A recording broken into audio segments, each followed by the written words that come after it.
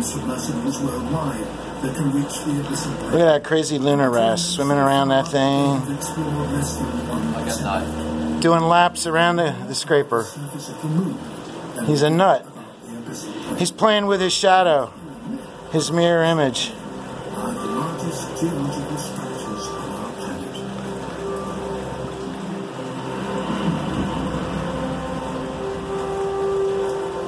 The mid-ocean ridges.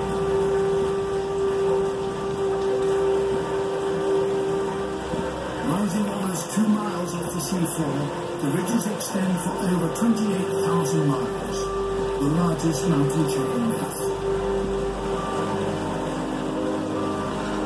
That's one minute of the lunar wrasse, and he's gone.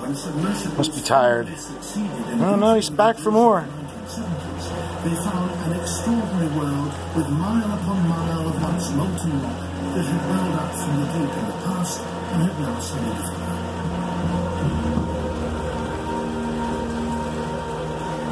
They discovered towering tumours pouring out water as hot as molten lead.